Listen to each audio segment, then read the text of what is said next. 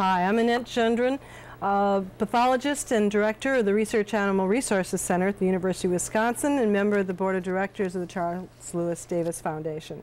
Um, today I'm giving a lecture on the pathology of non-human primates, in particular um, trying to combine both the pathology of the laboratory animal and the zoological species as board exams and many people see these animals in both conditions. Um, for the first Perhaps now we can have the first slide.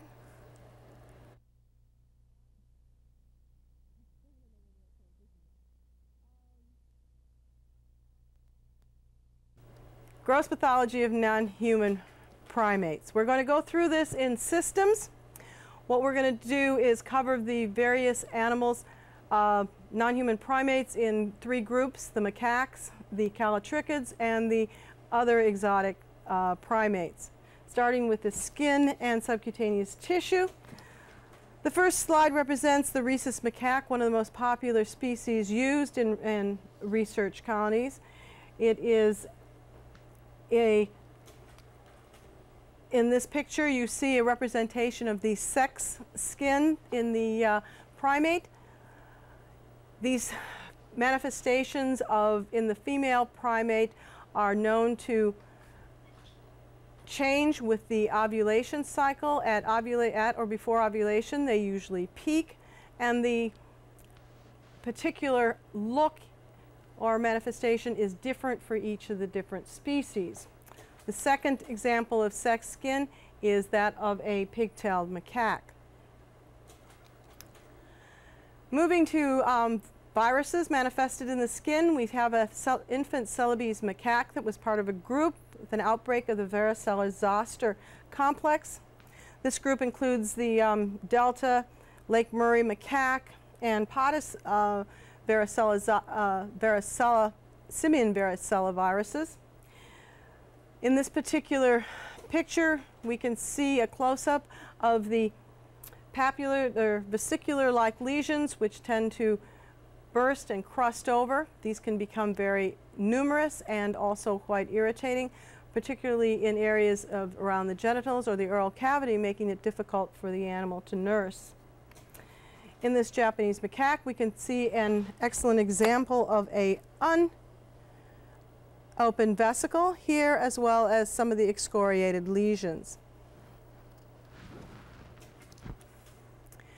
This is an old picture, but uh, represents a in Yaba virus infection. This particular infection is zoonotic. It is one of the few pox virus infections which infects histiocytes rather than epithelial cells. It is often known as the dermal histiocytoma. It is a subcutaneous nodule that will not only grow rapidly but also sloughs and regresses. It is seen in humans as well as rhesus and baboons and is carried by a mosquito vector. The next slide represents a manifestation of cutaneous tuberculosis. Tuberculosis, as it is seen in both non-human primates and man, can show up in areas uh, other than as a respiratory infection, i.e.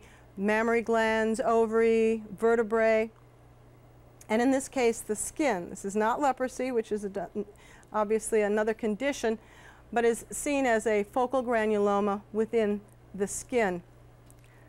The lump seen on the finger here represents the cutaneous tuberculosis.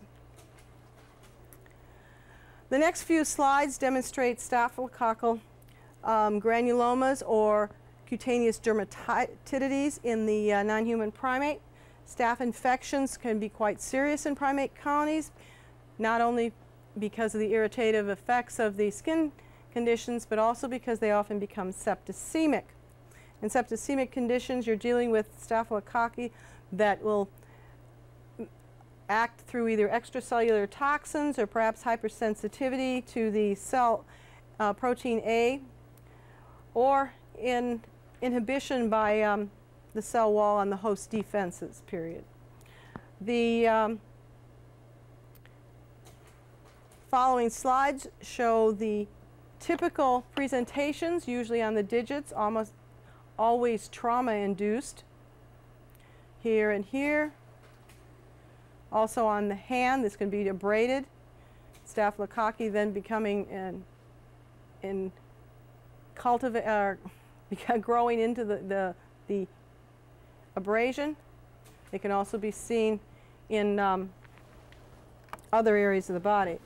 This is an old slide. It demonstrates a, an example of mucormycosis. This is an old case. This animal was known to have diabetes and the infection appears to have started as a pustular dermatitis which then eroded through into the orbit and as well as the sinuses. The uh, more commonly perhaps mucor is seen as a GI lesion however usually this is precipitated by situations of stress, quarantine, capture, etc.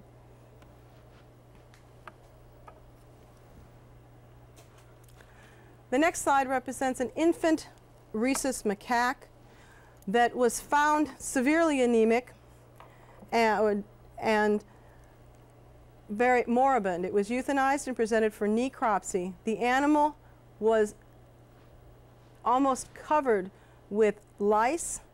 They can be seen with difficulty, but if one visualizes the small white spots on the fur, all these represent the lice infestation. The species here is Pedicinus obtusus. The interesting thing about these infections, which are considered relatively rare, is that normally, as in this case, only it may only be a single or only a few animals affected, and the other animals in a community group may not sh may show not only no clinical sign of itching, scratching, or lice infestation, but on close examination may not even carry any lice. The next slide represents a uh, penile squamous cell carcinoma in a rhesus monkey and can be seen as a proliferative and excoriative lesion on the end of the penis. This uh, picture is of pigtailed macaque showing uh, good demonstration of why or how they get their name. The pigtail macaque or Macaca nemestrina is particularly known for this or manifesting this lesion, which is one of a group of conditions known collectively as retroperitoneal fibromatosis, seen in patients exhibiting SRV infection. And this, with this particular um, condition, you see the fibrous nodules under the skin in the subcutaneous tissue. These can be retroperitoneal as well as under the skin of the arm or other uh, locations on the body. They're associated usually with SRV infection serotype 1. This picture, while um, not particularly easy to see, represents an owl monkey with herpes T, a condition not commonly seen. There is a small vesicle and excoriative lesions noted on the skin. This is to remind me to mention that the herpes infections in the New World monkey can be just as fatal for other species. In other words, the herpes T infection, which is latent and rarely uh, becomes a clinical uh, disease in squirrel monkeys when exposed to owl monkeys and marmosets can create a fatal septicemia with erosions and ulcerations of the tongue and oral mucosa. This sequelae from mixing of the species is not uncommon with viral infections in the primates and also can be um, seen in the condition of the simian B virus noted in, in macaques that is fatal for humans, while usually latent within the um, old world macaques. The same thing applies in reverse in that the herpes simplex viruses that usually cause only mild cold sores in humans can cause a fatal septicemia with, again, erosions of the tongue and oral mucosa in non-human primates.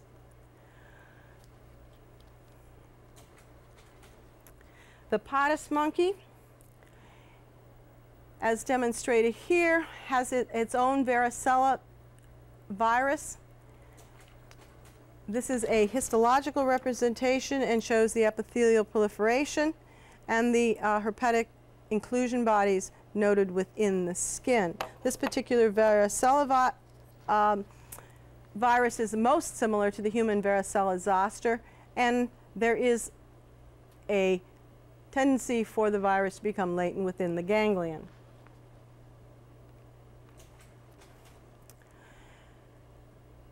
These next two slides represent chimp uh, monkey, uh, chimpanzee with monkeypox. This is an orthopox. It starts as papules, proceeding to pustules, which then ulcerate and crust over. This is more common in the central and western Africa, but both Old World and New World monkeys are susceptible to this disease. It's a sporadic infection rather than endemic. And perhaps of most concern is the fact that this pox virus very closely resembles smallpox, and the smallpox vaccination protects humans from the zoonotic risk of monkeypox infection. It is, one has to speculate that with the um, stopping of give the smallpox vaccine, ceasing of uh, the giving of smallpox vaccine in humans, that there may very well be, and certain indications are that there already is an increase in the incidence of monkeypox in the human populations in areas that are exposed to these non-human primates. In other words, it could represent another emerging disease. This is the flat raised lesions with the central ulcera ulceration seen in monkeypox as, and with the papules, early papules also represented in the oral mucosa. This is a white-faced Saki. The skin in the abdomen of this animal shows a white, crusty, flaky lesion that is irritated and often hyperemic. The animal can scratch at it. In this case, what we're looking at is a, a representation of a case of sarcoptic mange. This is a ring-tailed lemur, an animal commonly kept in uh, zoos for its playful nature and um, active uh, in activity levels. They are also seen in uh, several research colonies now. This particular animal was kept in the uh, Milwaukee Zoo. It's noted to be older and quite obese. In this slide, you can see the sort of lumpy, multinodular nature to the fat of the animal, which when the skin is sized demonstrates multiple nodules of lipomatous, small lipomas underneath the skin.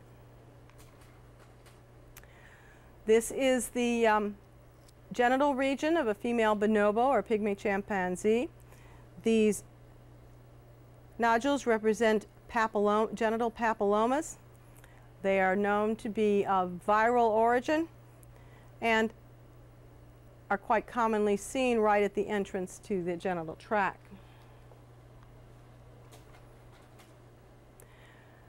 Um, this is uh, simply a demonstration of um, the technique used in TB testing the non-human primates, as most often these animals need to be res restrained or even anesthetized to carry out this procedure. It is not considered um, practical to have to anesthetize them each day to read this exam also. It's done on the eyelids so that they can be easily read from a distance, perhaps with a set of binoculars.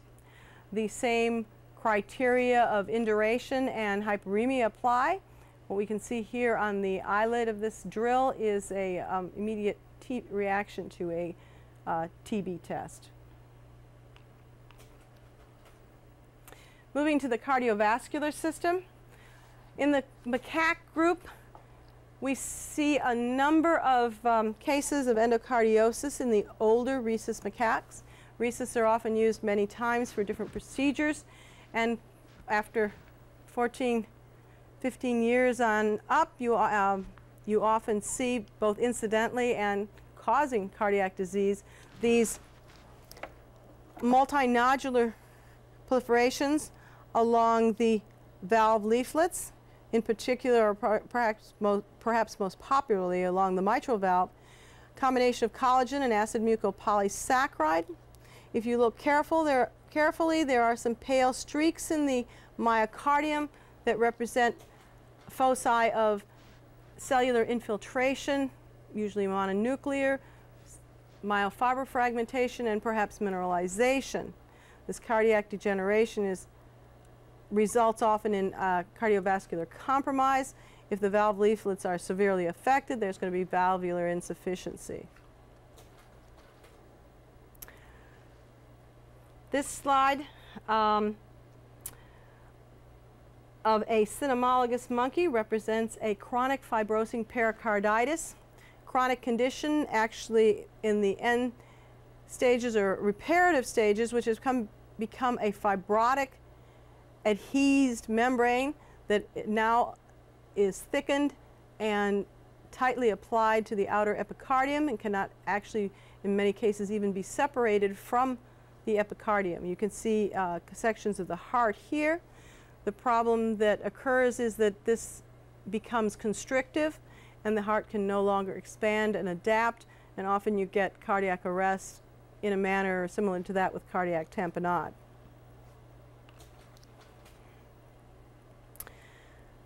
The object of looking at gross pathology slides is to identify the tissue and then perhaps and to come up with the most likely diagnoses that produce the particular lesion seen. In this case, we can notice the liver and with some fibrin adhered, the edge of the rib cage, and an extremely thick fibrinopurulent proliferation, not only over the entire heart, but also across the um, pleura. This is a fibrinonecrotic or fibrinosuppurative pericarditis. It's caused by Haemophilus influenza. The condition seen here, which sort of resembles uh, the pericarditis, a uh, sort of a rug-like prolif uh, proliferation is often called cor rugosum. In the callitrichids, this is a Goeldi's marmoset, which is was uh, necropsied and identifying the lesions here is fairly easy in that the heart silhouette appears to take up almost the entire thoracic cavity with just a peek at the lungs around the edges. The liver is pale but somewhat enlarged and the pools of blood stand out suggesting chronic passive congestion. The examination of the lungs is difficult, but there appears to be a sort of wet appearance to them as well as pale coloration, suggesting possible pulmonary edema. With a cardiomegaly and chronic passive congestion of the liver, what we see represents most likely a case of congestive heart failure, and histopathology confirmed this diagnosis. Common causes of um, this is a of this condition uh, in cotton top marmosets. And let's take a look at this slide first, where we see a vegetative endocarditis with a thrombus on the leaflets of the mitral valve. Uh, endocarditis or inflammation would be implied if they were inflammatory cells or um, infectious materials involved in this thrombus. In cases of a endocarditis, organisms such as strep, Haemophilus parainfluenza, which is known to cause an endocarditis, and E. coli can be cultured from these lesions. This marmoset shed small thrombi, or I'm sorry, small emboli from this thrombus, resulting in a, a thromboembolic disease throughout the rest of the animal. Moving on to the western lowland gorilla, or the, uh, the uh, more exotic non-human primates. A gorilla at the Milwaukee Zoo was seen to show a um, left arm weakness that proceeded to deteriorate and to a CNS condition. Um, the animal was MRI'd as far as the brain. In the second uh, set of MRIs, it was noted that there were prominent brain lesions and a possible fungal encephalitis was diagnosed and treated. However, there was little response. The animal appeared to, to continue to deteriorate and was finally euthanized. At necropsy, it was found that um, there were large fungating lesions in, on the heart and pancreas. As you can see here, there's a large proliferative multinodular lesion at the apex of the heart and a suggestion of thickening around the base.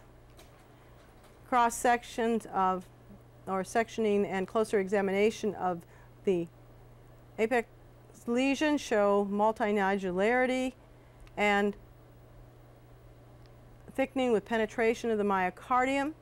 We're talking a focal granulomatous myocarditis. However, examination of the base portion of the heart reveals these white firm lesions seen surrounding the major arteries,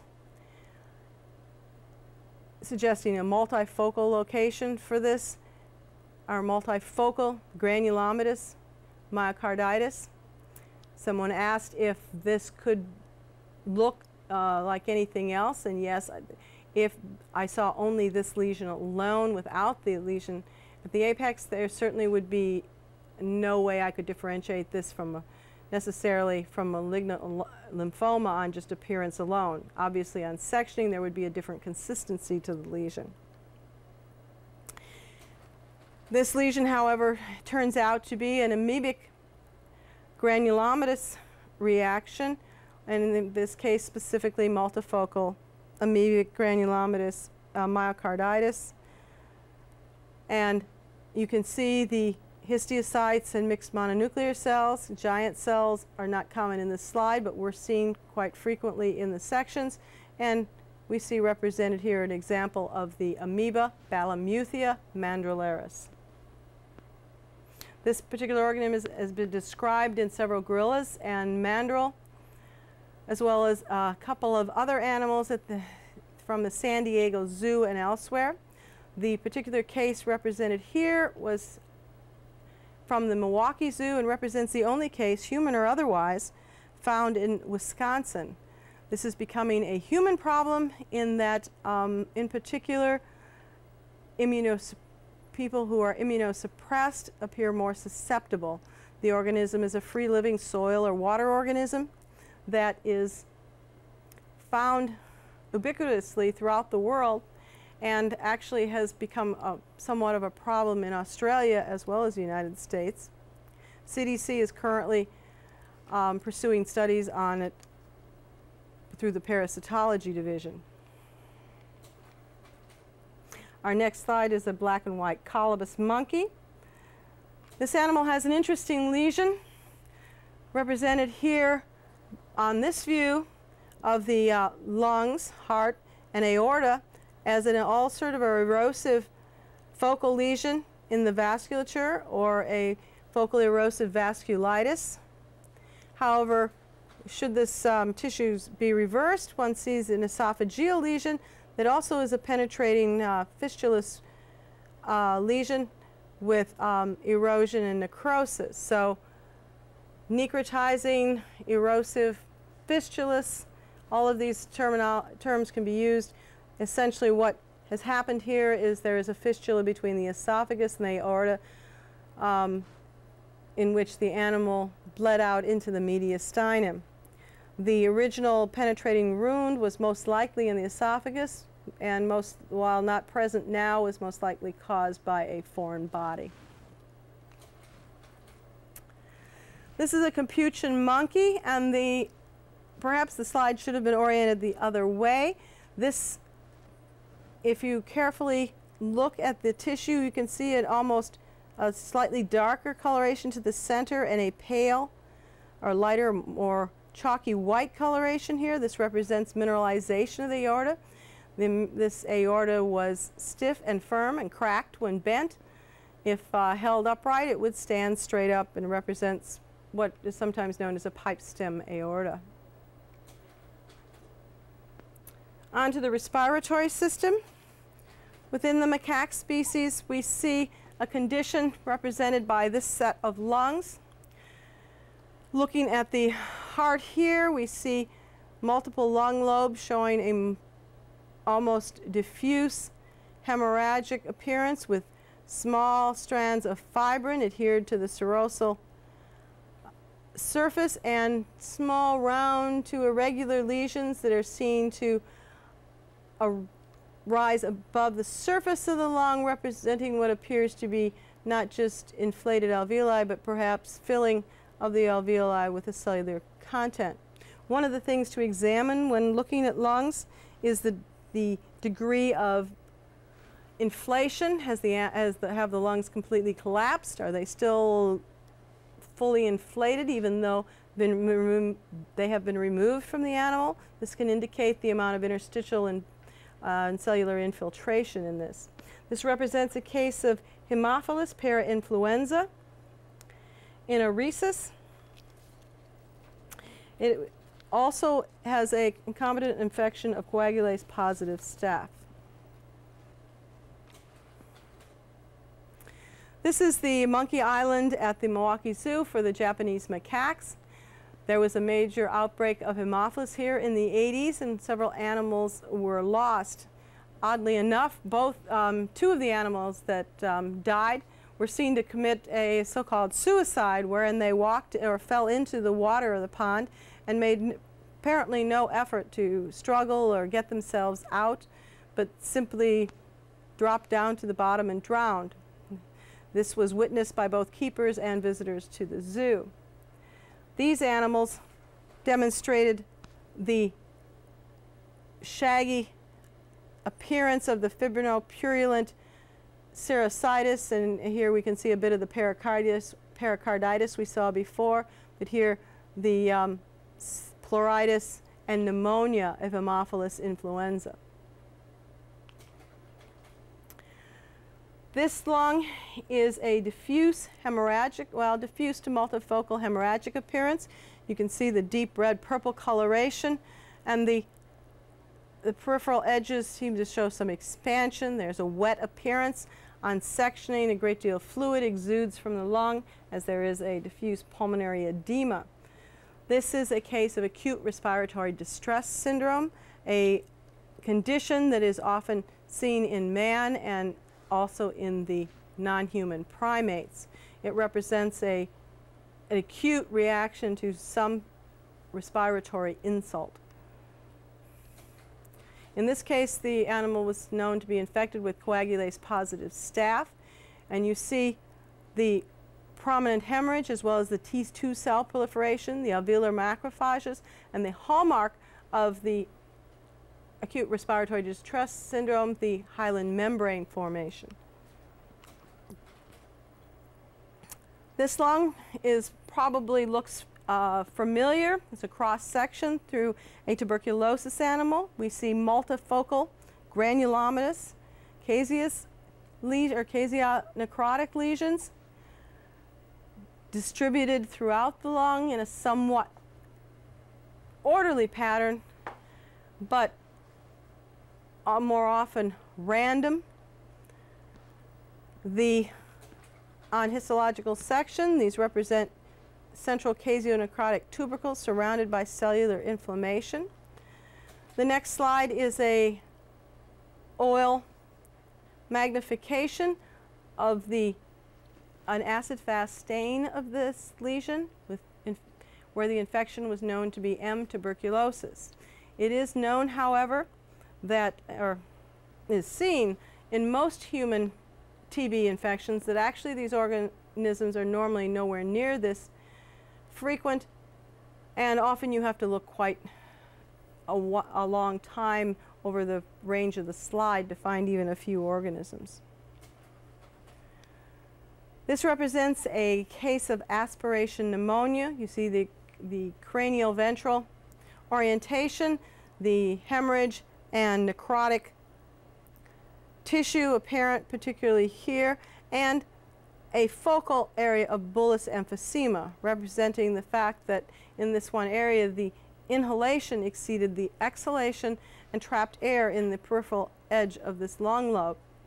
This could be due to a partial obstruction of that particular airway or because of the necrosis and probable gangrenous inflammation, there is often uh, erosion into uh, adjacent airways, often causing, again, this um, bullous formation. The next few lungs represent a condition that it could be called classic in rhesus monkeys. Certainly it's one they like to show you uh, frequently. Infection by the uh, lung mite, Pneumonyssus simicola. The lesions are seen here, can, as seen here, can be either clear or pigmented, showing a somewhat linear orientation and being raised irregular nodules extending above the surface of the lung pleura. A closer look, we can see that they can often be, sorry, uh, again somewhat irregular, but often again linear. And here we can see the differentiation of the more severely pigmented lesions with as contrasted to pneumoconiosis. This histological representation is of what is commonly called a mite house. As you can see where the raised lesion at, at the surface of the lung is represented. This is fibrous tissue, mixed inflammatory uh, cells, and pigmentation, forming a thickened wall around the cross section of the mite.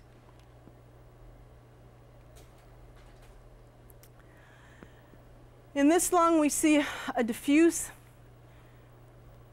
nodular showering throughout both lung lobes. On the section seen here, you can see that there is a smooth nodular surface, not an exudative example, and the this represents a case of lymphoproliferative disease or lymphoma surrounding bronchi and perivascular spaces throughout the lung.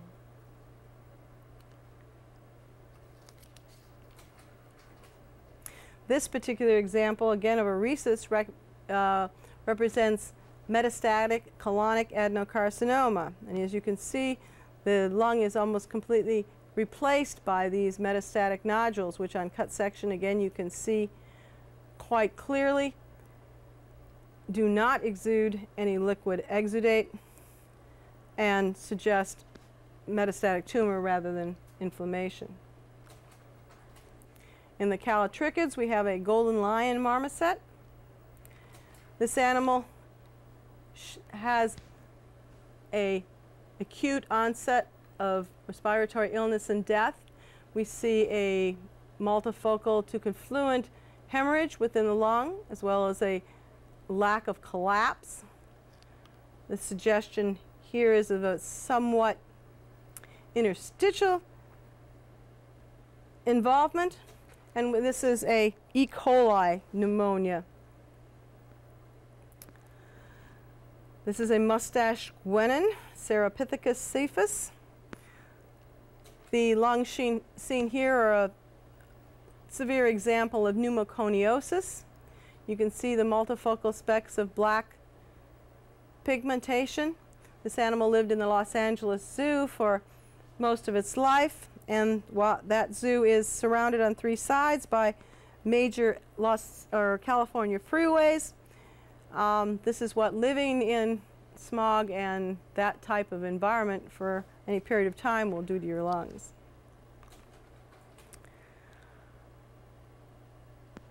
This is a colobus monkey, and we see here that the lungs show a diffuse, what I like to describe as glassy red appearance.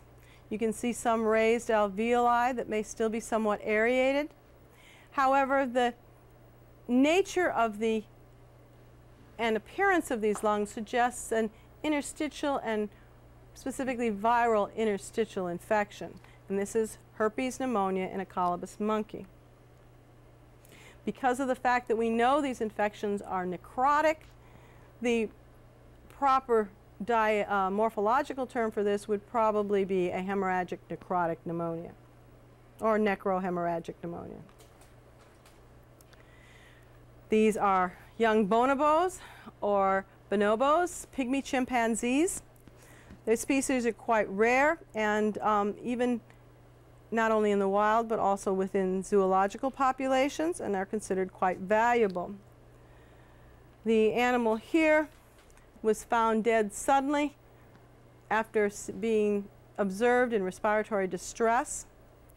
The both onset and death were quite quick and the lungs show a mottled diffused confluent to diffuse hemorrhagic appearance which on sectioning also demonstrates marked pulmonary edema.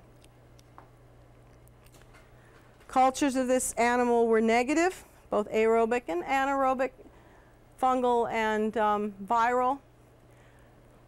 I'm sorry, the viral and the histological sections revealed that it appeared to be a case of acute respiratory distress syndrome. Going back on these slides, note that the clinical disorders associated with acute respiratory distress syndrome are those causing uh, immediate insult to the lungs. They could be aspiration of gases or toxic contents, diffuse infections, sepsis, trauma, drug overdose. None of these are applied to this particular case. There was, however, a respiratory infection going through the entire uh, greater ape house, suggesting that perhaps this was a viral infection. And since influenza, uh, there was a major influenza outbreak in the city of Milwaukee at the time, we suspected possible uh, that influenza may have been the inciting cause. However, um, all our viral cultures on these, as I said, were negative, and the tissues were and sections were sent to the AFIP, where not only did they find on immuno and PCR testing that could they find no evidence for viral infection, but the um, influenza expert there also agreed that while this appeared to clearly represent an case of acute respiratory distress, distress syndrome, it did not appear consistent with influenza. The pathogenesis of acute respiratory distress syndrome has to do with defects within the vascular permeability and damages that result in the surfactant functions being abnormal and the appearance of the, again, as noted before, hyaline membranes. In this slide, we can see the both necrotic uh, and suppurative neutrophilic cells and hemorrhage. Here we can see the interstitial cellular component and T2 prominent uh, T2 hyperplasia with the prominent appearance of the hyaline membranes. These particular hyaline membranes are seen in only two uh, conditions, i.e. the acute respiratory distress syndrome and hyaline membrane disease in the infant, both human or monkey. This is a galago. Often some species are called bush babies. These lungs represent, again, a diffuse hemorrhagic suppurative uh, pneumonia. Part of the reason we can tell this is suppurative because of the uh, caseous exudate seen here in the trachea, so that we also have a necrosuppurative tracheitis. The causative organism here is E. coli. Okay, our next slide here is a picture of the white-handed gibbon. This animal was presented dead with a um, acute course of uh, onset. Looking at the lungs, we see, a again, a somewhat diffuse hemorrhagic appearance. However, this particular lung, you can see there is a white area here that seems to represent possibly infiltration more solid appearing um, sections, but this area seems to bulge, and if you look here, you can kind of see wrinkling as if the um, tissue had been sort of pushed together by um, expansion out and around it. If it were sectioned, we would notice this is actually a large abscess. This represent, I'm sorry, let's back up on that. Represents a, um, a suppurative multifocal abscessing pneumonia. And cultures indicated that, uh, let's see, that we had a beta hemolytic coagulase positive staph. This slide is the lungs from a mandrill, died with a uterine adenocarcinoma. The irregular nature of the um, infiltrates and the distribution irregularly through the sections would suggest a metastatic tumor sectioning through shows that these are solid lesions and this somewhat scalloped edge to that is always, I have always felt, seemed to associate more with um, tumor than actual uh, inflammatory lesion. So metastatic uterine carcinoma. This is a potto, Perodicticus potto. This animal was also presented with a metastatic lesion to the lung. We see flat raised nodules here, seeming lack of inflammation. There's a second slide which shows that there's some variability as to the size and appearance, but again, no evidence of exudate, small area of still inflated lung. This is a colonic adenocarcinoma with metastasis to the lung. Digestive system.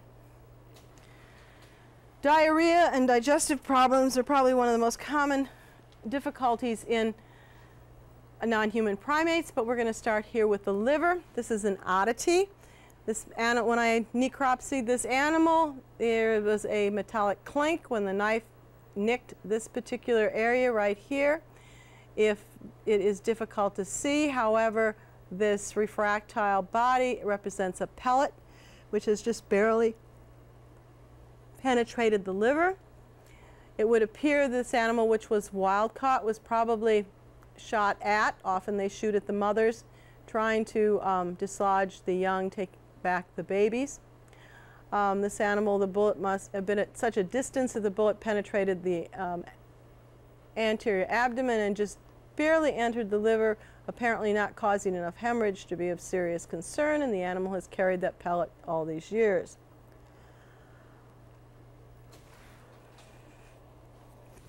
This particular slide is unusual, but represents um, not only telangiectasis within the lung, I'm sorry, within the liver, but also these pale areas are, appear to contain deposits of amyloid, Often the amyloid can be diffuse and collected in, the, in areas of the spleen and occasionally liver or in the uh, case of a, a different entity uh, seen as deposition within the islet cells of the pancreas period. This was an animal, rhesus, that was noted to have a fibrinosuppurative peritonitis. When the center of the inflammation was localized, it appeared to be the bile duct, where you can see there is a, a I'm sorry, a suppurative appearance with fibrin and exudate within what is a greatly dilated and necrotic bile duct.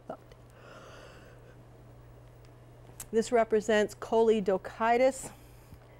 Um, there was no growth on bacteriological culture. However, antibiotics had been used on this animal. Um, Klebsiella and many other gram-negative organisms can be responsible for lesions such as this. The next slide represents a pale liver with a somewhat mottled sinusoidal pattern. And if we notice here, seems some enlargement apparently to the gallbladder and associated nodes. If you look carefully, you can see patchy areas that appear slightly raised and pale. This animal had a myelogenous leukemia, which was treated. So there is not only the leukemia most likely infiltrating the liver, but also perhaps the effect of the anti-neoplastic drugs. When the animal died, it was found that it also seemed to show some lymph node enlargement. This represents a case of um, either uh, tapeworm cysts. This is echinococcosis. Though species was not identified in the liver of a rhesus macaque. This lesion, which has been seen, um, has been uh, photographed and seen in other um, places, is a case of noma, N-O-M-A, a word meaning to devour, and is used to describe the upper maxillary lesion, often seen in SRV monkeys, usually type 2, where a necrotizing stomatitis will often eat its way through not only the dental areas but also deep into the jaw. The condition is secondary to immunosuppression and it is reported that no particular bacterial organism has been attributed as causative, though many have been found within the lesion, i.e. Borrelia, staph, or anaerobic strep, period. A recent report I have heard about suggests a possible spirochete may also be, may be present, but there is uh, studies, or let's say the studies still need to be done to prove this as not any as anything more than an associative um, organism. Period. Um, the oral mucosa seen here shows focal gingiva or multifocal gingiva hemorrhage, somewhat of a retraction of the gingiva, and is characteristic of vitamin C deficiency or scurvy in a rhesus macaque. This young rhesus monkey show, shows polydontia or extranumerate teeth can be seen within the oral cavity and behind the mandibular incisors. Looking at this lesion, we try to visualize the location, uh, we try to um, identify the tissue by uh, looking at the location, obviously within the thoracic cavity as evidenced by the ribs. We see the lungs and the heart, I think, under here. There's some prominence to these vessels. And we see a sort of dilated tubular structure here that on x-ray is seen as a megaesophagus. In this slide, we see the megaesophagus opened and the um, digestive content exposed, period. My apologies. It sounds like I'm trying to dictate here. um, next slide. This is an evidence also of an SRV monkey, and we see a candida infection in the esophagus and the oral cavity. You can see the sort of fungating caseo-necrotic lesions, both linear linear, linearly aligned along the esophagus and with uh, in the oral mucosa. This is a rhesus macaque in a laboratory setting. It's to remind me that some conditions are seen more commonly in lab colonies and the gastric dilatation noted here is almost never seen in wild animals. And the enlarged and dilated stomach contains a combination of gas and fluid.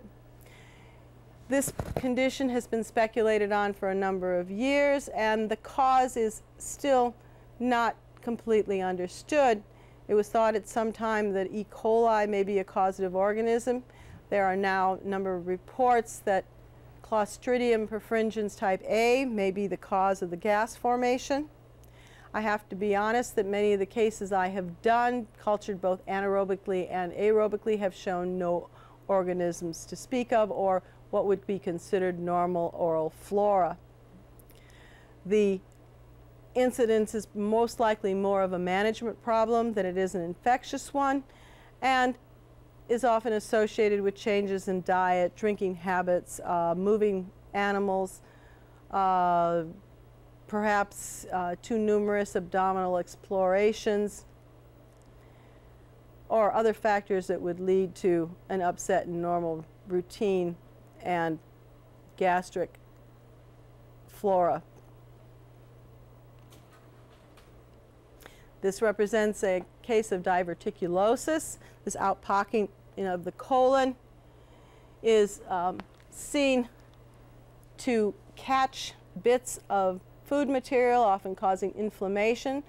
And because the food is trapped there and can't leave, the inflammation becomes more severe, often creating a focus of intense pain for the animal.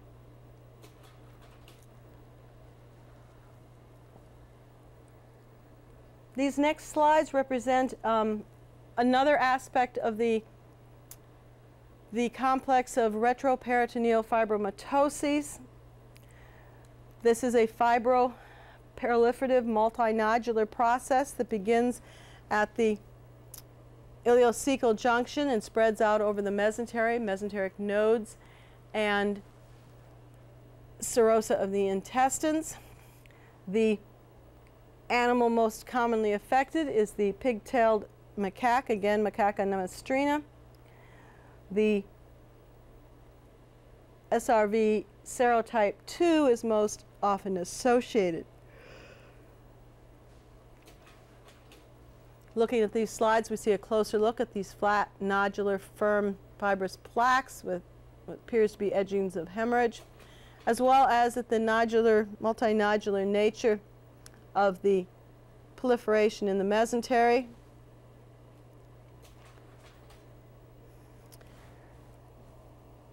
Here we've moved to another case. This is a rhesus showing steatitis and possible hemorrhagic pancreatitis. The clear to um, focal areas here show a evidence of uh, saponification and necrosis within this case. A coagulase positive staph was isolated from this animal. All right, we're going to start the second tape with a discussion of shigellosis in the Old World macaques. Shigella flexneri or Shigella sonnei are probably the two most common species, though dysenteria is occasionally seen. Within flexneri, uh, there's a number of serotypes that are noted, some of which of greater or lesser virulency. The lesions are specific to the colon and are do not become septicemic, nor do they invade the small intestine as usual. When you look at the lesions seen here, you notice that oh, as far as gross necropsy morphological diagnosis, you see very little of the liver. You do see the entire um, enteric, uh, or at least the superficial view of the abdominal region with a segmental hemorrhagic lesion in the colon. In this particular section, you can actually see the mucosa opened up with the multifocal, almost to diffuse necrotic process that is actually visible through the enteric wall. And again, creating these button ulcers. In some cases, there can only be, there may only be a small segment affected with focal necrosis and hemorrhage which when open may show a mucosa again with focal hemorrhage. Um, petechia, you can see the ulceration or necrosis of the mucosa here and possibly edema within or infiltrates within the mucosa.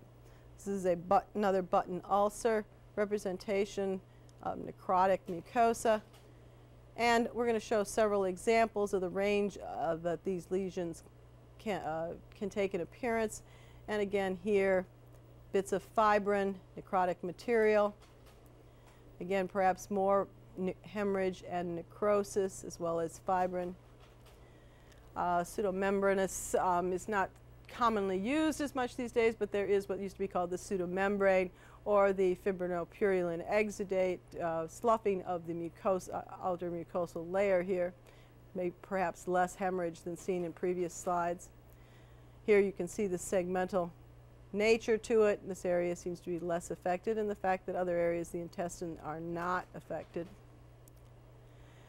This particular slide represents um, an attempt on my part to teach you or to convince you that one, you should look at gross necropsy slides um, without prejudice. In other words, without knowing what it is you're looking for. This forces you to not only look at the lesion in, that is affected in particular and often exclusively, but also to look at everything that's there and make a judgment as to what your possible differentials can be.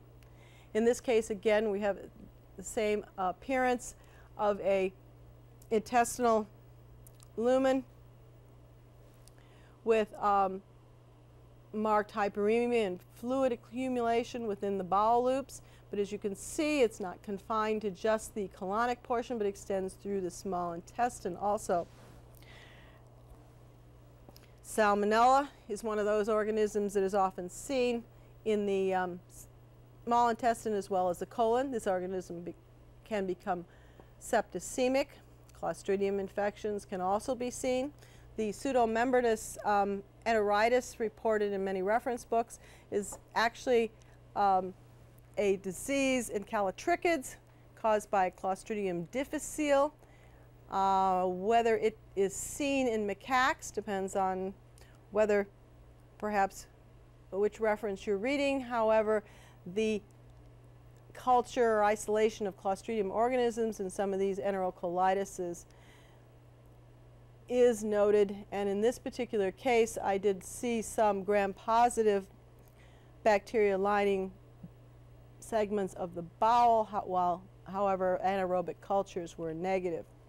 In fact, the uh, fecal growth was so low that um, the possibility of a serious um, or, uh, microbiological imbalance due to overuse of antibiotics might be considered. This is a lesson, case is a lesson in looking for um, perhaps other causes. This animal was brought in after it was found dead. It uh, shows a severe fibrinopurulent peritonitis. You can see the marked degree of fibrin accumulation on the liver, but also uh, purulent rea uh, fibrinous reaction in the uh, thoracic cavity. Careful examination revealed a focal area of perforation in the lower distal colon, which apparently resulted from a biopsy. Um, this biopsy was done because of a chronic diarrhea this animal underwent, but the friable nature of the colon resulted in a perforation and an E. coli peritonitis for this animal. This cynomolgus monkey shows a uh, prolapsed, uh, prolapsed colon, rectum, uh, which on examination and retraction shows you a more um, darker discolored area that opened up indicates segmental hemorrhage. Interestingly enough, opening the entire GI tract reveals also a suppurative opaque exudate and or GI con or contact, content of the intestines.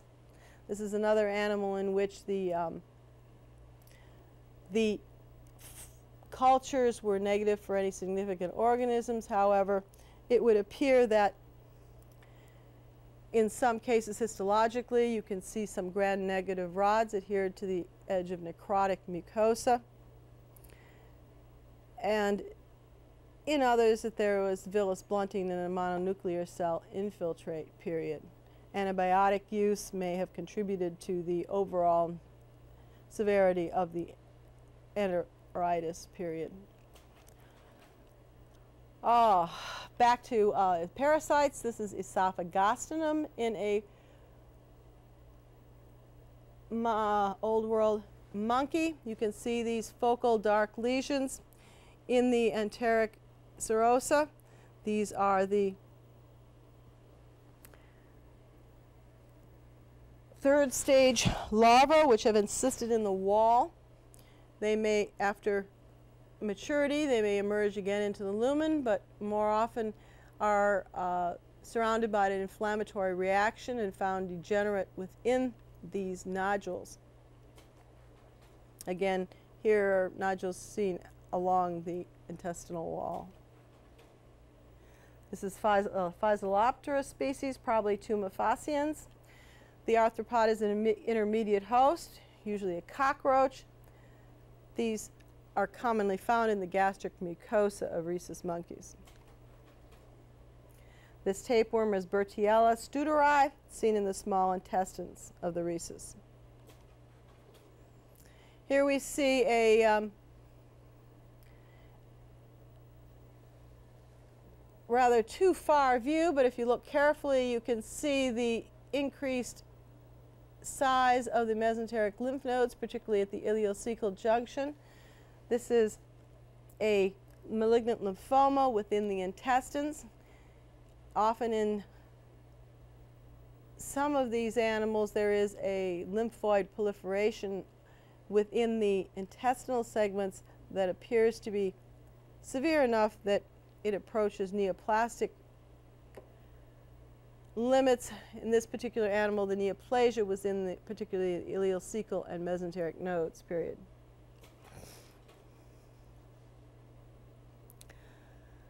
One of the more common lesions in the rhesus monkey, particularly in older animals, is a large mass palpated through the abdomen in the region of the ileocecal node. While the, there may or may not be enteritis or colitis present, this particular mass can often be inflamed, hemorrhagic, and fibrinous, and associated with a lesion in the intestines or colon, more likely colon in these areas, representing a serous neoplastic process and or a colonic adenocarcinoma. As seen in this section, this is often annular and constrictive, showing a necrotizing process and metastases out in the surrounding tissue, period. This lesion represents another unknown. Um, I'd like you to look here at this necrotic area, which appears to have a somewhat brown fluid exudate and the necrosis associated with this as well as this large fibrous area. Superficially, this would, might seem to resemble some of the ileocecal adenocarcinomas we have seen before.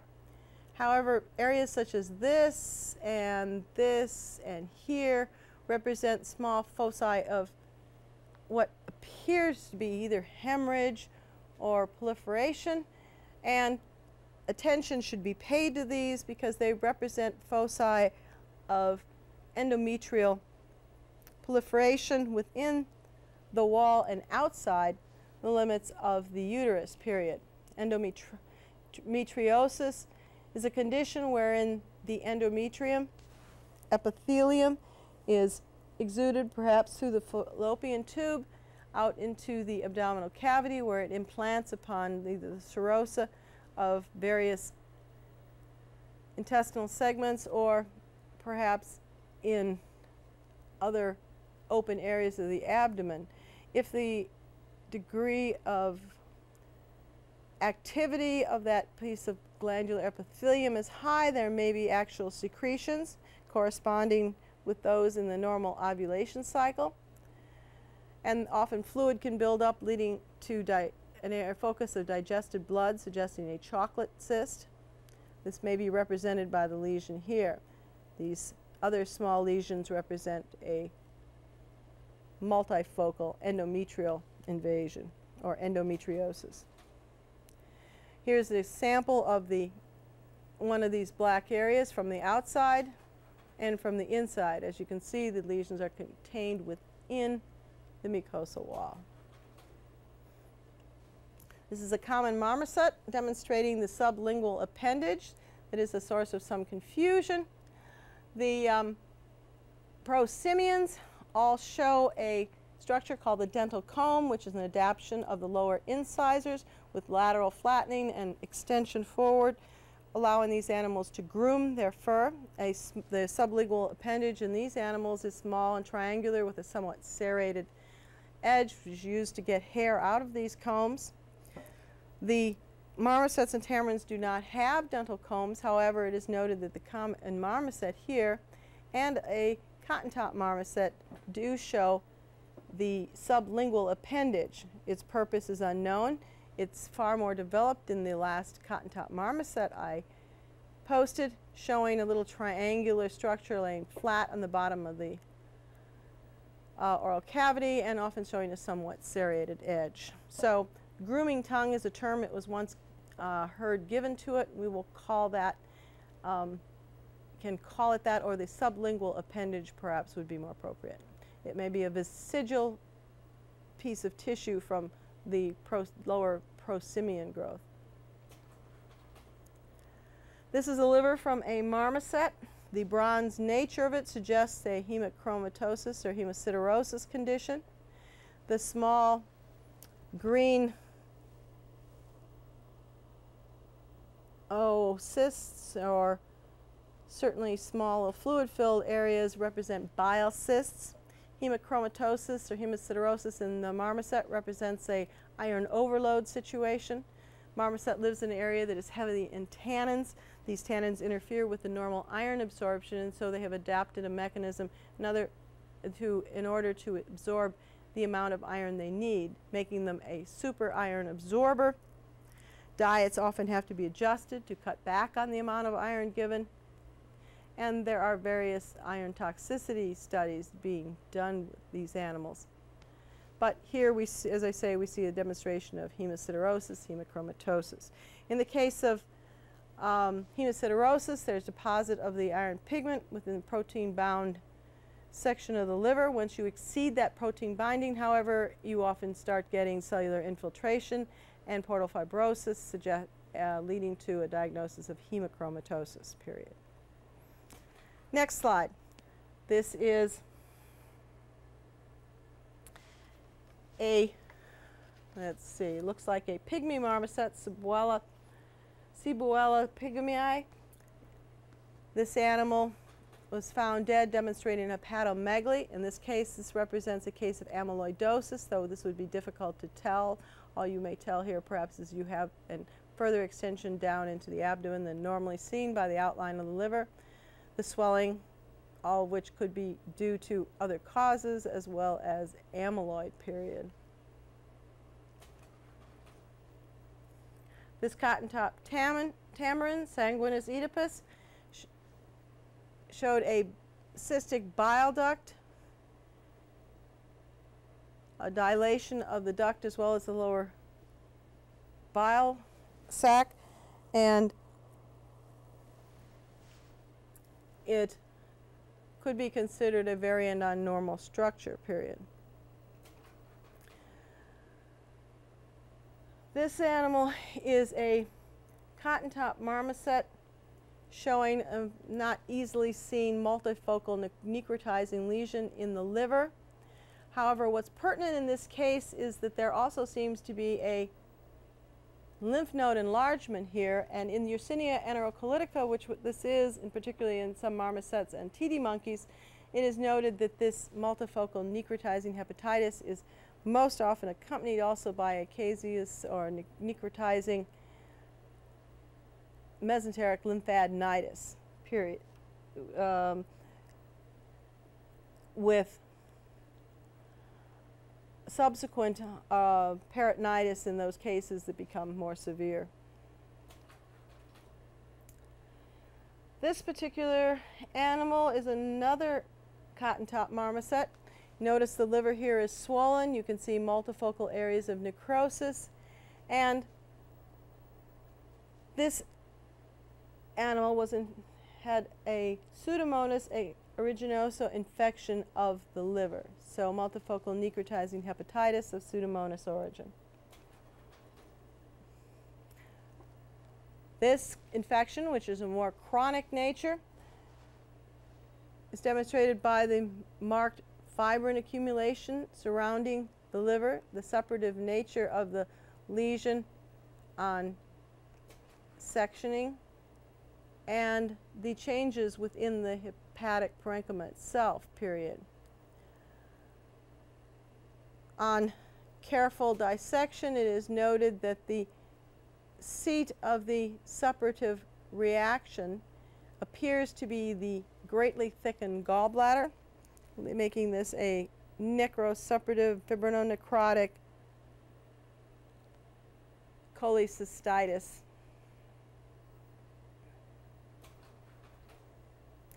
The pancreas here shows multiple Foss nodules, which represent islet cell tumor in a golden lion tamarin. The intestines here are from an animal with chronic wasting disease. However, what we're looking at is this intussusception right here. This is a common finding in marmosets and for the most part is an agonal lesion showing no changes in the mucosa when separated. This one, however, would appear to be within a already irritative and as we can see somewhat edematous and swollen intestine.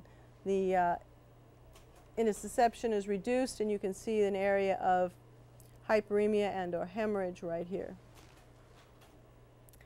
This animal shows a wet appearance to the abdomen and tissues suggesting ascites.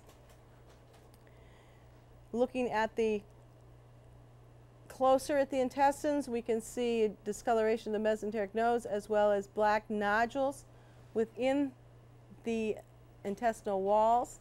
This histopathology slide reveals the Prosthenorchis organism as it impacts within a wall. You can see the nodular enlargement over the head and recognize that in cases where there is perforation, there will also be subsequent peritonitis.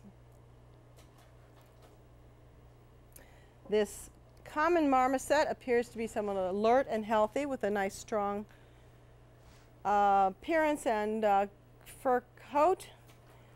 This, however, is how they often appear when submitted with chronic wasting syndrome. There is a marked patchy alopecia as well as scruffy coat. The enteritis is not usually hemorrhagic and is usually represented by fluid-filled bowels or soft feces. There is at times some hyperemia and thickening of the intestinal wall. These areas demonstrate a somewhat commonality of diarrhea and wasting or weight loss, and, but often show a different uh, histological picture. Chronic wasting syndrome has been looked at in marmosets for a number of years and has been blamed on a, a number of different theories. Uh, protein in the diet or lack of protein in the diet, vitamin E, selenium, the possibility of a gluten enteropathy, though there's some uh, similarity in appearance.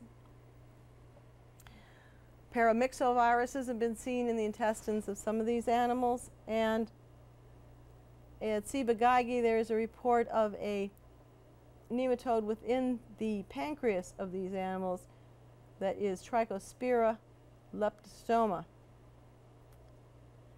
These wasting syndromes are reported from a number of different facilities across the country and actually the world interestingly enough, I myself are, am doing the necropsies for two colonies which are totally different in their genetic background, which are housed in the same facility, though in separate rooms, but with the same diet and caretakers, etc. The incidence between uh, incidence difference between these two colonies is quite striking, with one colony that showing a large number of found dead animals posted showing chronic wasting disease and the other showing next to none. One of the things the um, Wisconsin Regional Primate Center has published and is working on is the presence of a new gamma herpes virus, gamma herpes virus callitrichid 3, in the mucosa of these animals. They often react to EB virus and the appearance of the gut appear is that of a lymphocytic enteritis with a variable degree of lymphocytes that show from anything from a mild inflammation to a severe, almost neoplastic inflammation that may also affect the mesenteric lymph nodes. It is thought this continuum of symptomology might very well represent a response to a viral infection and studies are being continued on the marmosets at that colony and any they might accept from the outside in order to determine if this is a legitimate organism and a cause of the serious wasting syndrome period. Um, Baskin in his handout mentions that marmoset lymphocryptovirus also causes wasting syndrome.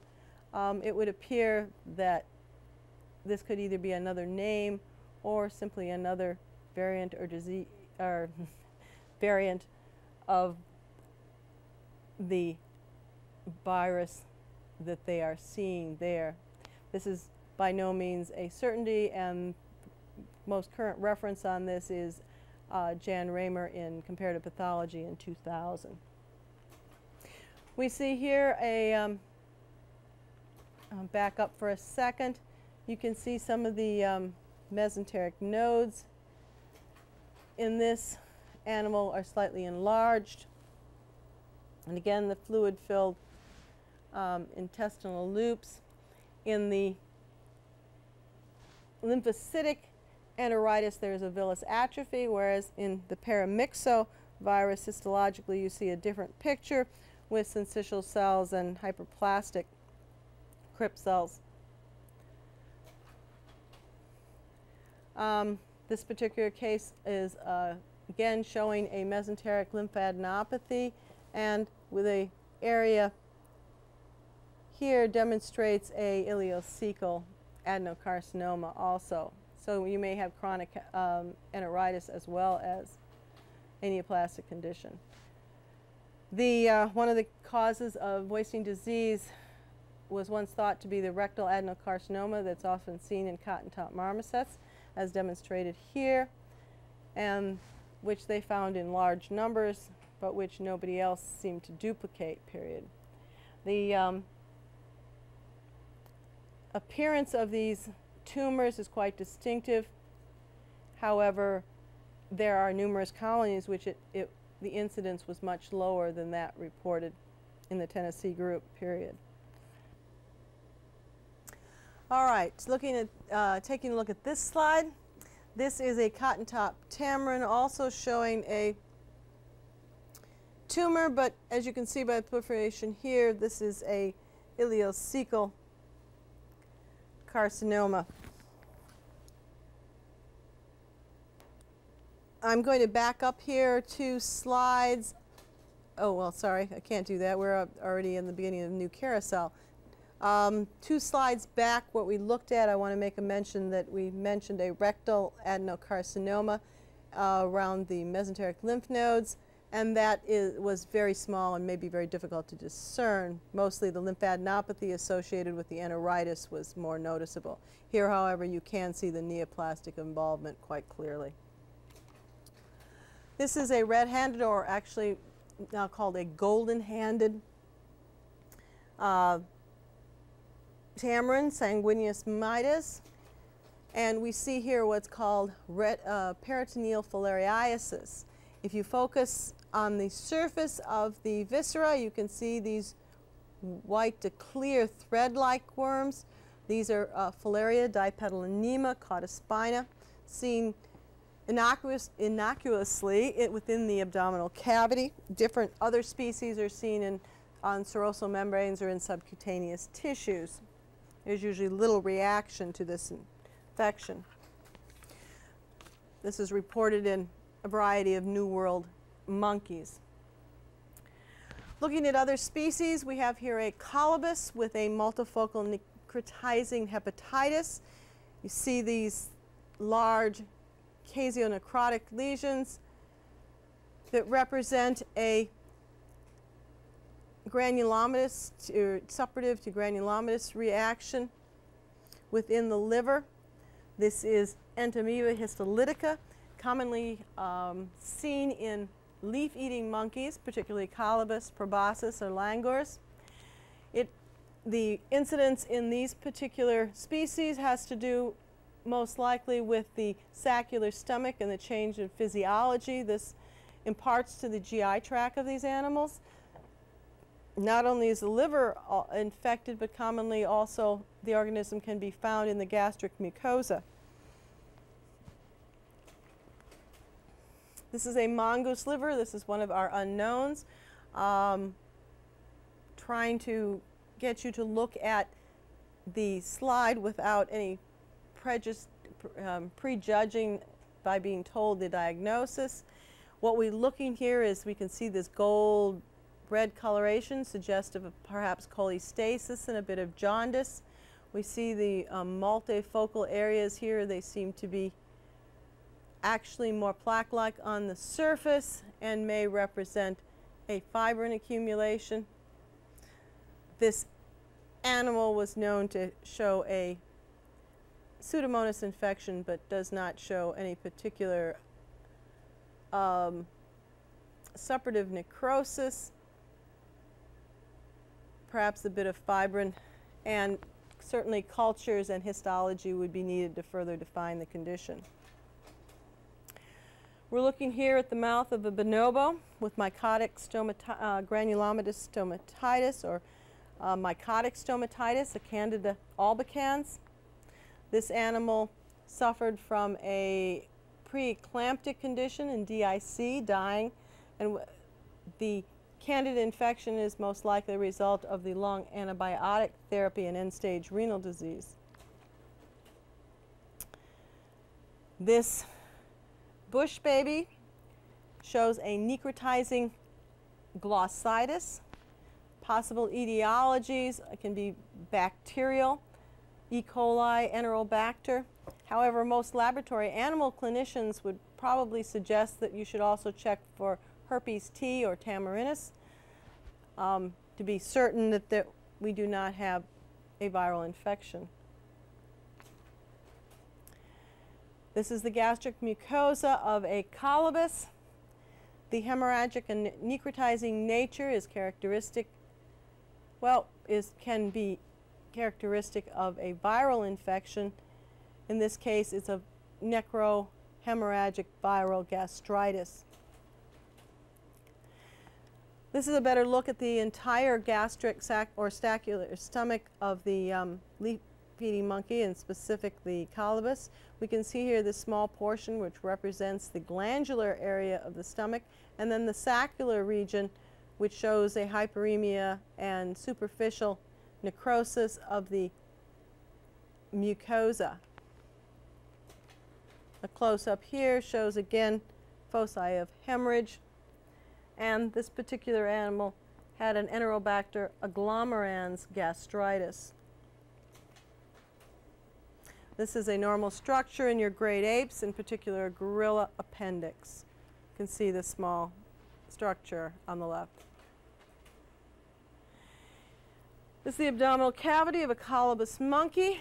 This is a millifer arm malatus in the abdomen. It's a um, pentastome, which is an aberrant arthropod nymph. The adults are found in the na nasal patches of canids canids, other animals, and humans. It's often asymptomatic, though it can lead to peritonitis. this degenerative arthropod, is common to the old world monkeys, whereas Porocephalus is a species seen in New World monkeys.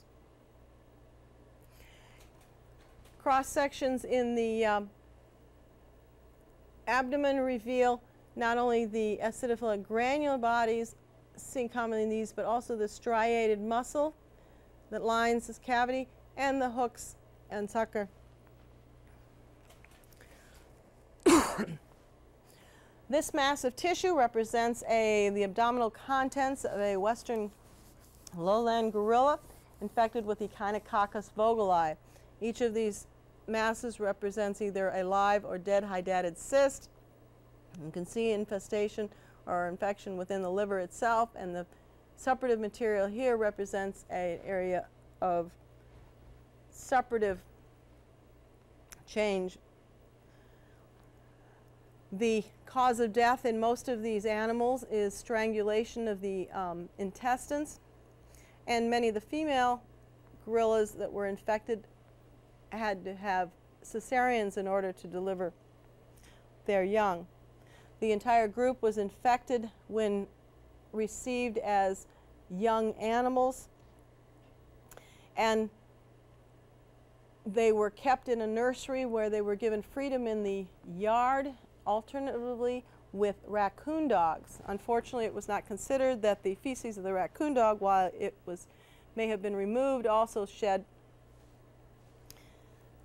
and infected the young primates who, of course, were eating the dirt and putting everything in their mouth with the echinococcus. All of these animals developed large abdominal infections and the trauma that they often inflict on each other caused cysts to rupture and multiple sub-daughter cysts to form. This is a ultrasound of the abdomen of one of these animals showing the numerous cystic structures. It's a cross-section of a fixed specimen showing the various hydatid cysts. At one time, an attempt was made to treat these animals, and this particular cyst is seen to have died and now shows a somewhat necrotic appearance. However, there was never more, um, more than a small minority of cysts that died. Most were still viable. This is hydatid sand, and you can see the small hooks present within the organisms. Um, a reminder that Balantidium is often considered somewhat controversial in non-human primates. In many cases, you see it in normal mucosa. It's considered an incidental finding, as in here. In other cases, and in particular in great apes, it causes a quite severe enterocolitis and has, off, has been seen in some cases to invade the uh, submucosa, often penetrating through into the mesentery and sometimes causing a severe peritonitis and being then found in mesenteric lymph nodes and where there is a lymphadenitis. This is not as common in the lesser monkeys, but the great apes it has been reported frequently and suggests that any time this is seen in any great numbers, it must be treated, period. Um, lymphohematopoietic system. The macaques, this is our monkey with the myelogenous leukemia again and the hepatic lesions. This animal demonstrated a white count of over 200,000 while it was when it was diagnosed. This is an example of a blood smear with the um, immature granulocytic cells.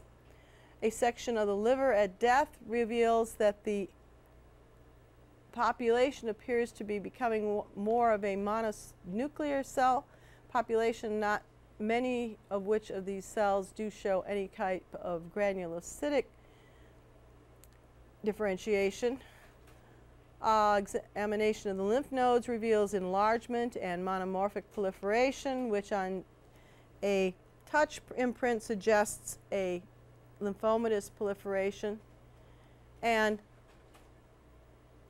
a malignant lymphoma was indeed diagnosed on top of the granulocytic leukemia. This is not an uncommon sequelae after treatment in either the great apes, of which, of course, such um, episodes have been few, but in humans it is far more common.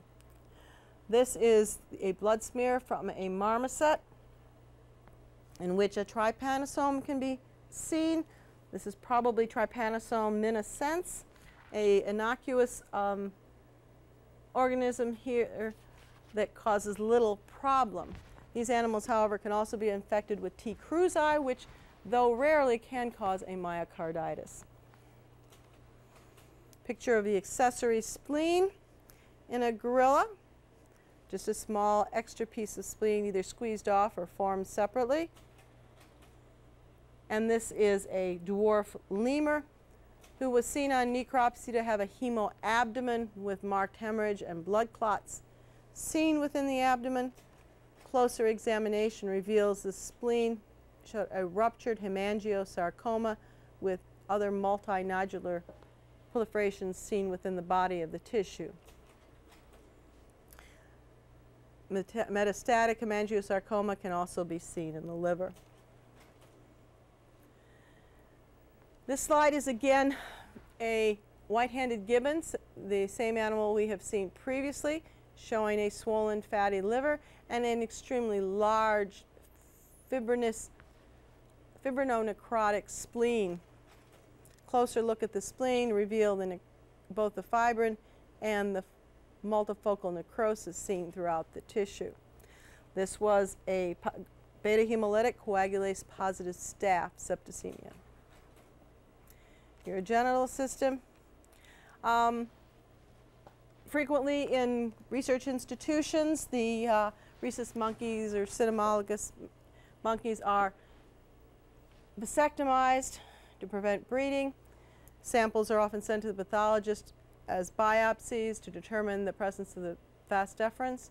In this particular case, we found no evidence of the vas on sectioning and the entire testicle was removed, wherein it was seen that the vas deferens had occupied an entirely different path within the scrotum.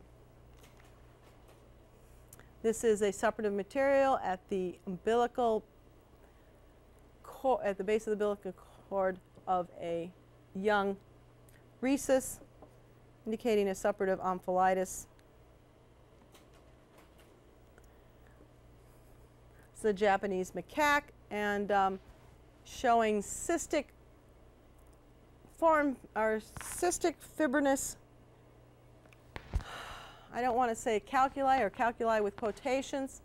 As you can see in the next slide, these bodies are laminated fibrinous material. The infection was unable to be identified, probably due to heavy antibiotic use. However, the, the urinary bladder itself is hemorrhagic and somewhat proliferative. So we have a uh, hemorrhagic fibrinonecrotic cystitis.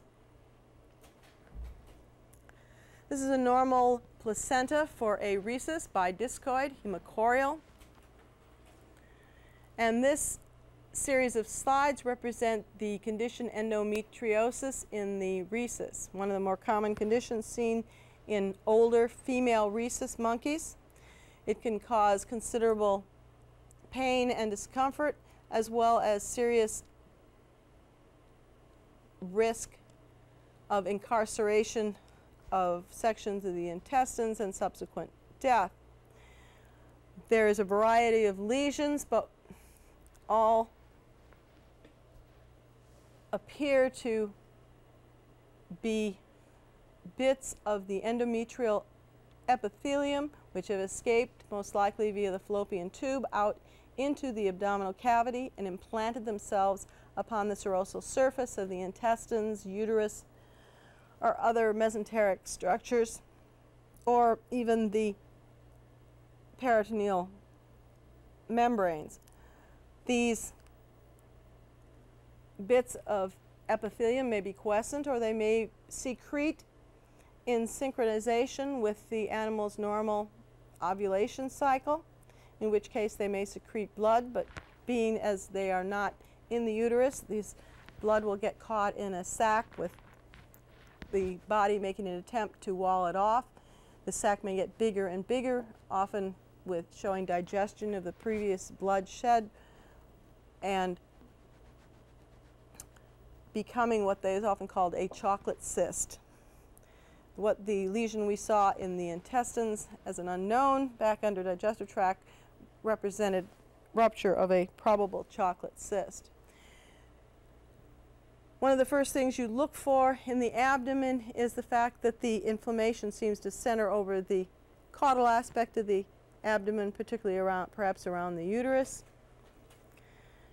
Some identifications are easier than others. In this one, there's this marked hemorrhage with uh, hemorrhagic cysts apparent in the section.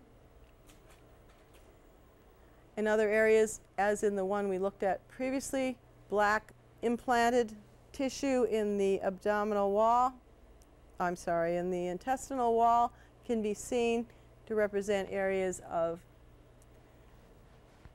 endometrial implantation. Here's again another look at the, at the hemorrhagic portion. Here also with bulging cysts. And this is an example of the one that we saw that showed the focal necrotic lesion, which may have been a chocolate cyst. This, the nodules or foci seen within this wall represent implantation not only outside the uterus, but also within the uterine wall. This condition, termed adenomyosis, is used to define endometrium that has strayed outside the endometrial lining but is still within the serosal capsule of the uterine body itself, usually approximately two field lengths away from the inner epithelium. And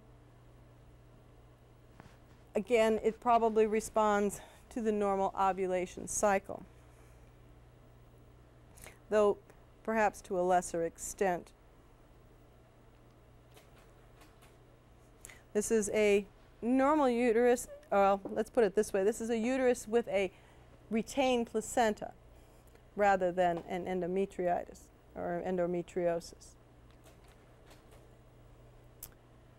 This fetus was submitted as a stillbirth, most likely was an intrauterine death. Um, clues to that are the slippage of skin and loss of hair with poor constructs of the limbs and body. In particular, this yellow cheesy material adhered to it suggests meconium exposure. In cases of fetal distress syndrome, meconium is evacuated from the lower bowel where it is deposited as a waste product of the body's metabolism. Normally this doesn't happen until after birth, but if it should happen in the uterus, it's, it's expelled into the amniotic cavity. The animal that will then inhale it. There's a quite serious pneumonia associated with this, but also as the fluid may rupture and dry out, the meconium can be adhered to the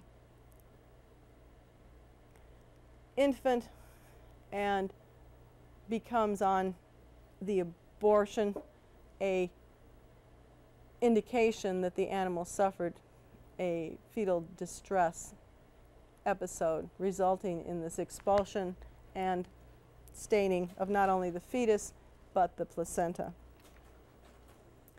This is a kidney showing a focal lesion tumor. It's a nephroblastoma. This is the normal placenta of the callitrichid triplets showing the two umbilical cords in one of the bidiscoid structures and a single umbilicus on the other. This is polycystic kidneys in a galago. You can see not only this severe numerous external renal uh, spaces, but also those within the uh, cut surface, some of them quite large.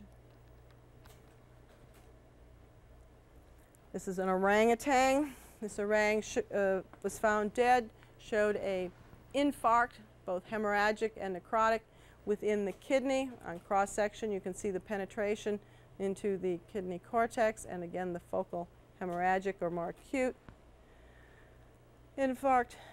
Here again, we have renal cysts. but we have these depressions and old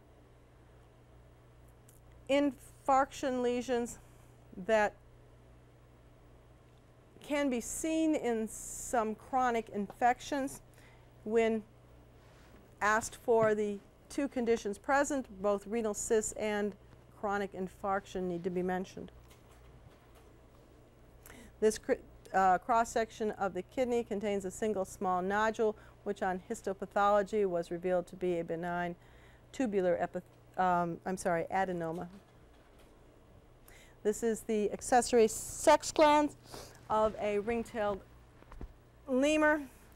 The seminal vesicles are greatly distended, both in, in an asymmetrical fashion, and the granular fluid contained within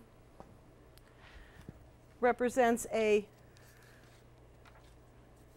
overabundance or blockage of the normal seminal secretions, period.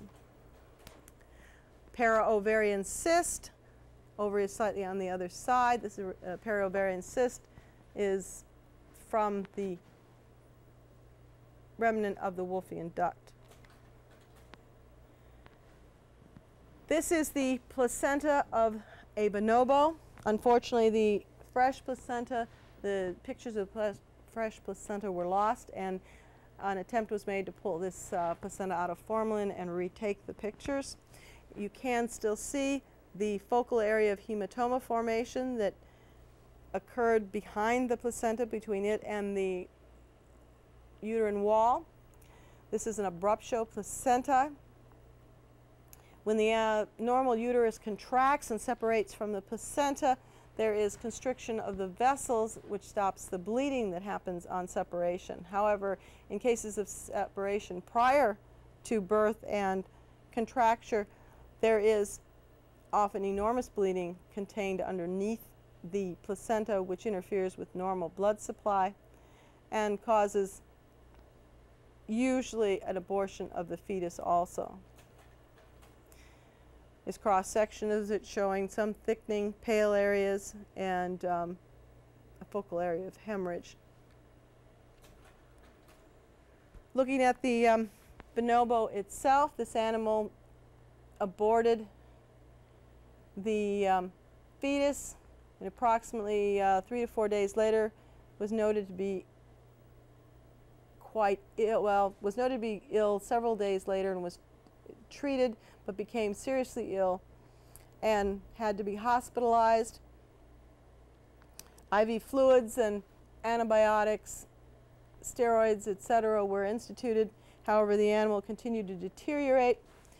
This was a case of preeclampsia, the existing conditions of hypertension, fetal ischemia, and DIC uh, were noted as is usually seen in eclampsia the or preeclampsia, you can see here the pale, swollen kidneys, as well as the still enlarged uterine body. Opening the uterus, you still see residual placenta and hemorrhage.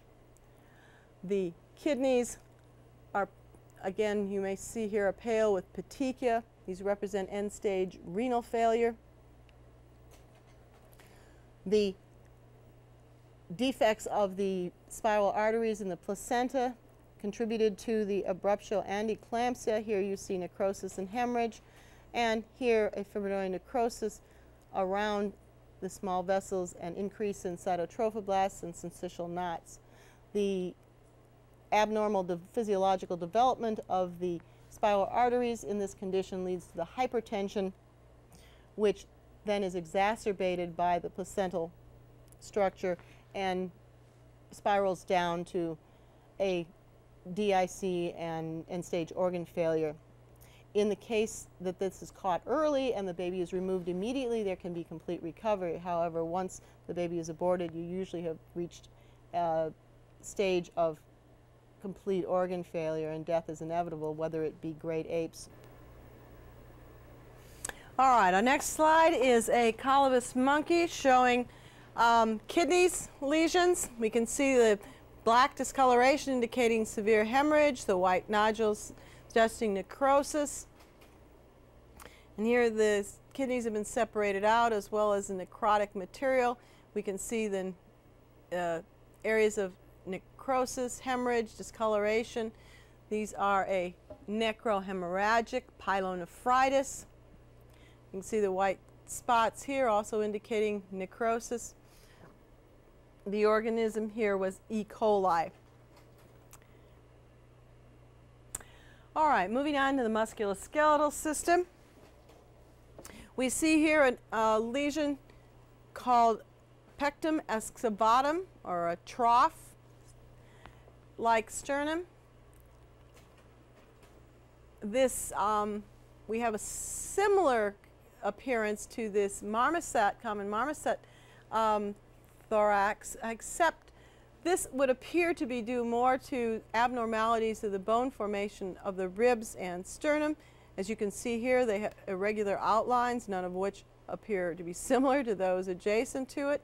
There's an irregularity and also a um, osteomalacia that, or osteodystrophy that appears to be most likely due to a combination of the malnutrition and um, serious renal uh, disease in these animals. Many of these bones can be either bent and are quite soft. Um, in addition to these bony lesions seen in the animals with the renal disease and wasting, there is another lesion seen in the common marmoset colonies at the Wisconsin Primate Center that appears to be a perhaps pagetoid-like reaction in the young marmosets that is currently under study, period. This slide, which could perhaps be um, a little lighter, demonstrates a spondylitis or bridging spondylitis of the vertebral column of a mandrill. You can see this, um, having trouble with the pointer here, along the lower outline. The hip joint here represents a case of DJ, DJD or degenerative joint disease with necrosis, loss of the cartilage over the head of the femur. This particular section is thought to represent congenital osteopetrosis in a, in a newborn gorilla. The congenital osteopetrosis is a defect of osteoclasts and either differentiation or function. You get a lack of reabsorption, so your bone remodeling lays down but never uh, removes, and you often get this characteristic V shape in the center of the bone. This is a black and white colobus. We see here a focal area of hemorrhage and possible necrosis along the iliopsoas muscle. Closer examination reveals that there is not only a necrotizing process that is eroded into the vasculature, but marked hemorrhage, and that on histological examination, there are numerous bacteria colonies and inflammatory cells present. This is called an iliopsoas myositis. It is an entity also seen in man, and in man is most likely or is most often associated with an acute, or I'm sorry, not acute, but a chronic appendicitis.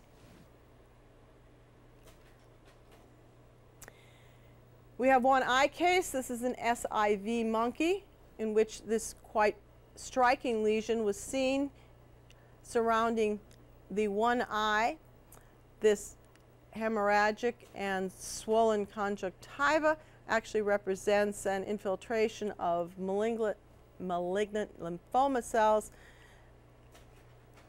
and is likely associated with the immunosuppressive effects of the SIV infection. In the central nervous system, this particular brain is from a rhesus monkey. You see not only some swelling with closure of gyri, but also focal areas of collapse associated with a hydrocephalic condition. E. coli was the etiological agent for the meningitis. In this close-up, you can see the swelling indicating the brain edema and some slight petechiation. This particular case represents a young cynomolgus with a brain cap or pro with probes which extend down into the brain. Great care must be taken both in placing and maintaining these caps, otherwise contamination is all too easy. In this case, you can see on the one side the probe looks relatively clean, while on the other there is a, a more irregular and perhaps uh, exudative response. This is a strep infection, or I'm sorry, a staph infection noted within the brain itself and in the overlying meninges. We have here a young rhesus submitted as a possible stillborn. On necropsy, however, while there was little in the abdominal or thoracic cavities, the head seemed to be somewhat markedly reddened and subcutaneous examination revealed extensive hemorrhage of the subcutaneous tissue and the bony plates of the cranium with actual overlapping of these plates and focal areas of penetration with accompanying hemorrhage within the brain. These areas look suspiciously like bite wounds, suggesting a um, trauma case and probable uh, adult trauma within the group. Now, the fact that there is this extensive hemorrhage in the subcutaneous tissue would indicate that this was not a stillbirth, that the animal was born alive but died from severe uh, cranial trauma shortly thereafter. In another case of a marmoset showing a results of a fall and in which the animal struck its head, we can see that there is hemorrhage not only in and under the leptomeninges and over the brain with small blood clots present. You can actually see what may be a ruptured vessel here. But also the contre-coup or resulting hemorrhage from the blow of the brain hitting the opposite side of the skull after the original originating impact. This common marmoset is noted to have uneven pupils and this was apparent even after death. Examining the brain of this animal revealed marked swelling of the cerebrum. This picture in particular tends to illustrate uh, the closure of the central sulcus due to this swelling and edema in case you are remarking on the lack, utter lack of sulci and gyri out in the cerebral hemispheres, please note on the previous case that these animals do not have any of these structures.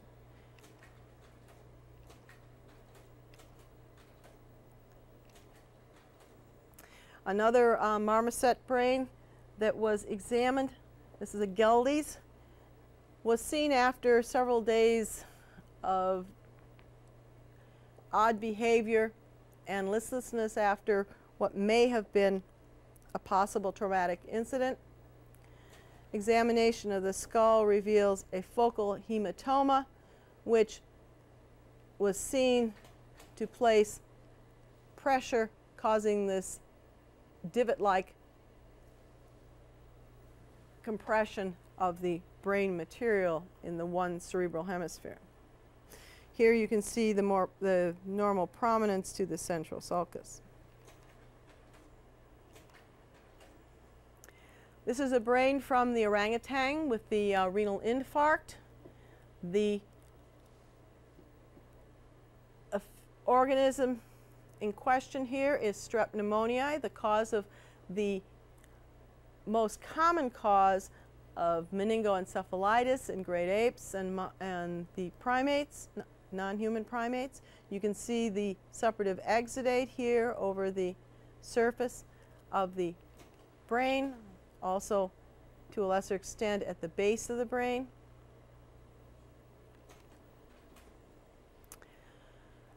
Another picture of a lowland gorilla in which we lead off into a discussion of the amoebic meningoencephalitis in lowland gorillas. This particular animal was noted to show a left side or left arm weakness which proceeded to become worse and did not respond to therapy. The animal then began exhibiting CNS signs and was taken for an MRI.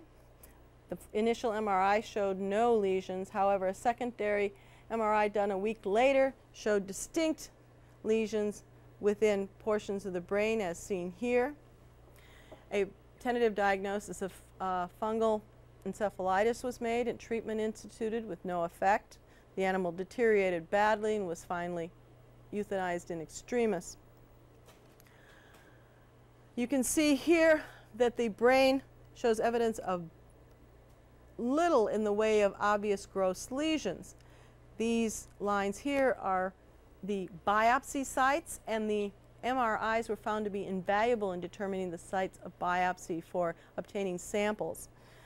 Um, cultures were sent off for both bacteria and virus as additional samples were also placed in the ultra low freezer for possible use later. When viral and bacterial cultures were negative if, and histopathology was examined, it was determined, well, first we'll take a look at some of the um, areas that show a slight discoloration. You can see the petechia and slight darkening here.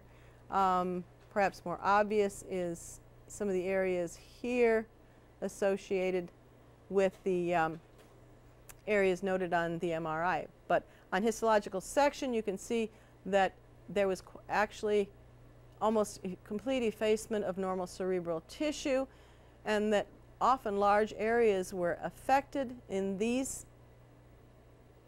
um, showing either one of two patterns. In this particular slide, you can see the more mononuclear cell infiltration with the amoebic organism within histiocytes, while the cardiac lesions showed a number of giant cells. These were much rare in the cerebral sections. Interestingly enough, none of these organisms became more obvious under special stains. None of the stains such as PAS, which are sometimes used to show other amoeba, worked on this particular organism, Balamuthia mandrillaris. Here is a, a example of another area in which there is an amoebic form within a large histiocyte. And it is noted that many of these amoeba appear to be associated with large numbers of neutrophils in an almost abscess-like pattern that was often seen in the same section and sometimes overlapping in the brain.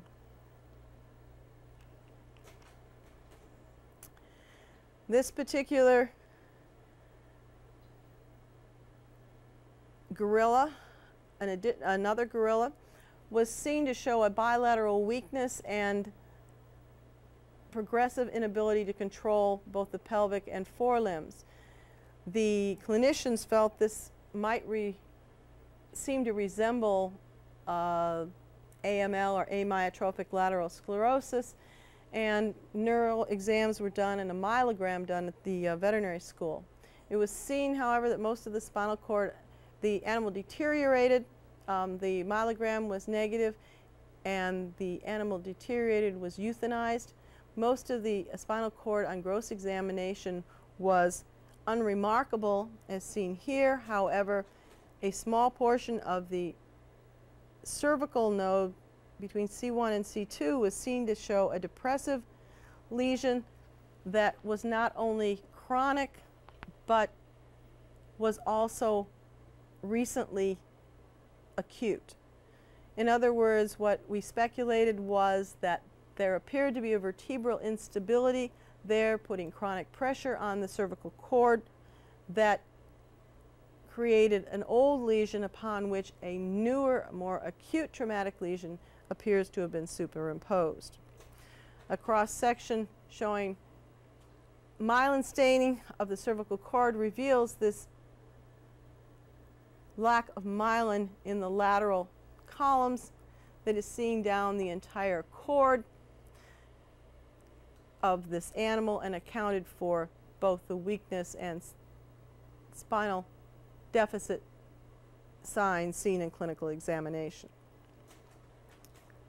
Last case involves another gibbon in which there was paresis and paralysis. On necropsy, the cord was removed and there appears to be thickening of the tissues surrounding the outer nerve roots and on cross section you can see this almost jelly-like proliferation surrounding the spinal cord on um, histologic section this appears to be a malignant lymphoma. That concludes this lecture and the on the pathology of the non-human primate.